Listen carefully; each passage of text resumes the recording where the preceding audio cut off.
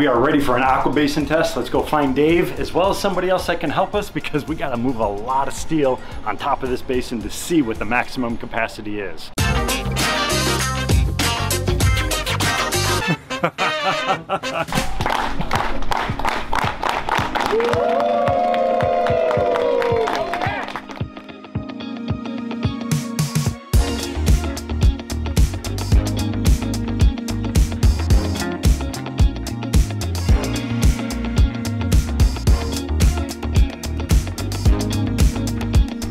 We are here at Hogar San Miguel, right in the middle of downtown Ponce, and this is a small orphanage here in the community. So we want to give back to this community by creating a small decorative water feature for them. So we have our winter retreat here. We have all of our CACs coming in from around the world.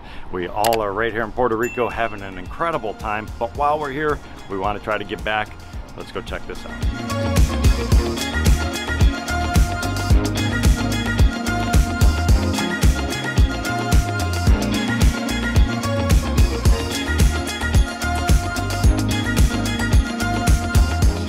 Putting in one of our aqua basins. If you're not familiar with this technology, this is a solid rotationally molded container. It has openings for pumps. I'm gonna take one of these little pumps, it's gonna get installed inside and we're gonna run piping underneath it. And that piping is gonna pop up through the middle. You can see we have all these little slots and joints and stuff in here. We're gonna have this beautiful decorative sphere on the top of it. That sphere is gonna create that agitation that we're looking for, which is gonna release that incredible sound as well as those negative ions that we all crave. So once that pump's installed, piping going over to the decorative component, water's gonna recirculate over the top of it and it's gonna go back down those slots and end up down in the bottom. The nice thing about this, you can turn it off and on at will, so you can cut back on water usage, but you still have the sight and sound, and then we're also gonna light it up, so this is gonna be spectacular every single night. Stay tuned, and if you're looking for the exact how-to installation of this, definitely check out Team Aquascape.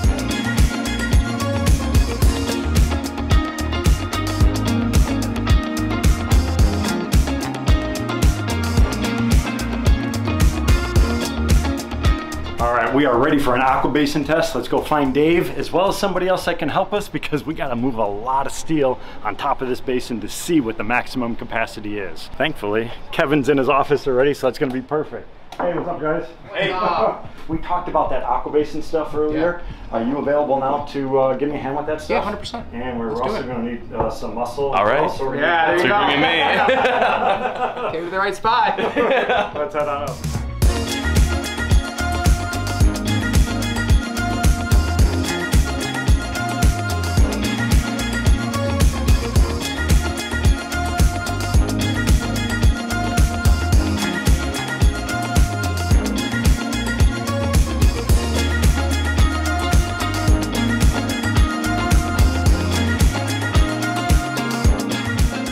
Yeah, 2,200 pounds, basically, 2,260.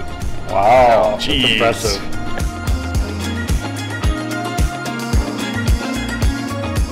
So we just finished loading up all the steel plates on top of the basin, but now we want to have Dave explain exactly how the structure is actually created because this is a structural unit. It's designed to hold heavy weights, not necessarily steel like this, but large basalt columns, cored out pieces of granite stone, big fountain displays and things like that. So it's designed to handle an incredible load. Plus up in our area, we have freezing, we have thawing, we have that push and the contraction on top of this system. So we have to have something that's structurally sound. Dave, do you want to explain the design process yeah, yeah. when you were coming up with all this stuff? The aqua basin is a lot like our other products that are buried under the ground. Like Ed mentioned, it's designed to handle freeze thaw, low capacities. It's made rotational molding. Rotational molding is a real simple process where they're pouring in a powder plastic into a big cavity. You start to rotate that cavity. As it heats up, that plastic liquefies and starts to coat that cavity and the wall thickness actually starts to happen then. It's extremely, extremely durable. Very thick. All your corners are actually the thickest parts, which is what you want from a structural integrity, mm -hmm. especially with freeze thaw. But what makes this capable of doing that, it's a big hollow tub, but it's what's underneath, which are these support cones. Each of these cones, here, here, here, and here, and then up in this area, go right up underside the deck on top of this, and they basically kiss off to that deck. So the space at the tip of this is very, very small, and that plastic I was talking about, how it starts to actually coat the inside, coats in between the top of that cone and right here. And you can see we have a do not drill because this deck is allowed to be modified. You can put holes in it and run plumbing through it and light cords. But these areas right here are where the cones and those kind of like structural supports are, are, sitting on the underside. That's what gives it the 1,500 pound capacity is what we have stated. We're at over 2,000 here. over 2,000. I mean, it's, and it didn't even budge. I mean, you can, you can keep going on that. The balance we actually have though is we want to have a lot of water in this, right? So mm -hmm. we got mm-hmm. just under 100 gallons of water. Every time we have one of those cones, it takes away the, the volume of water that's in it. So it's kind of a Goldilocks approach. You want just enough cones to support the weight, but leaving enough space to have the water to run the fountain and, you know, and, and, these slots in here, that's to get the water back inside. Yeah, so correct. the pump goes pump in, that, goes in, in that corner there. The cover in this, uh -huh. the uh-huh. whole goal of any of our product is to have it be buried out of sight. Right. You know, you don't want to see it at the end of the day. So this is all actually covered up through the gravel. The water will go back down through these drainage channels. Your pump will be sitting over here so you can access it, turn your valves, throttle up how much or how little water you actually want or to service it. But at the end of the day, it's all buried and buried and out of sight. Over in Puerto Rico is going to be in front of a school, but it's kind of out in the public. So the reason we went with this versus some of our, our traditional methods, they might be climbing on top of yeah, it, kids yeah, playing right. on it, and that type yep. of stuff. And we don't want to compromise the structure. So this is perfect for commercial yeah. locations, for any type Absolutely. of abuse like that. Absolutely. It's like, it's rigid, yeah, it's which awesome. is nice. All right. Well, I can't wait to install this. Now what we got to do we got to move all those weights back. Kevin.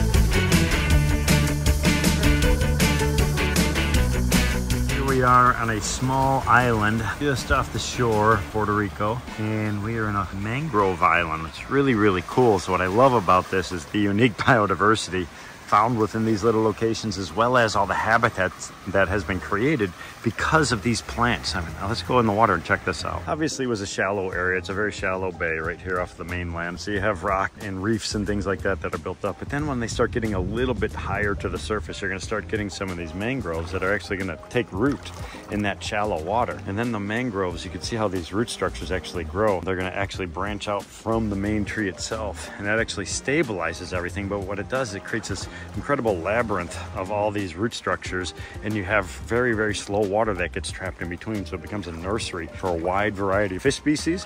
But what it also does is this is part of the filtration system. You've heard me talk about this before. And again, this is a saltwater system, not freshwater, but the concepts are pretty close. The periphyton and all the stuff that grows on these plants biologically is very, very diverse. And what we're trying to do is we're looking at all that stuff. But what happens is you have different velocities of water going through all there. That sedimentation sedimentation process that occurs. You have a lot of biological activity, but as those sediments continue to get trapped inside of all this, because now this the, the wave action has actually been tempered by this point. So you have those sediments and things like that that are going to start to filter themselves out. When that starts to occur, you, you start to get more and more sediment buildup in between all of these things, and eventually it's going to shift, and you're going to see a succession from the mangroves into some of these other terrestrial type plantings. Now they still may become inundated, obviously, during heavy rain events, large storm surges, and things like that, but this is the anchoring system for all that. So it's going to really create a protected haven for all types of wildlife, but the island actually is going to continue to grow and expand over time because these plants are going to continue to spread themselves out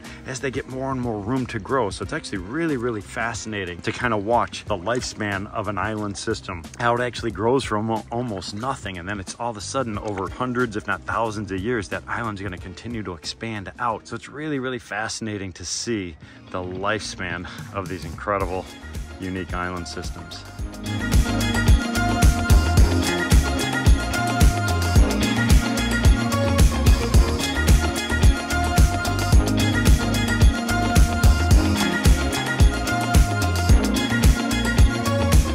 This has been one incredible time here in Puerto Rico. We are in Old San Juan right now, getting ready to head back to the airport, just checking out some of the beautiful sights of this incredible place. You know, uh, I'm definitely coming back, but just an incredible experience overall, going up into the mountains, checking out the bioluminescence, looking at nature, working with all the CACs, doing that cool little project, all these different things that came together. It's just been fantastic. So I hope you enjoyed this and I look forward to seeing all you on the next project. All right, everybody, see you soon.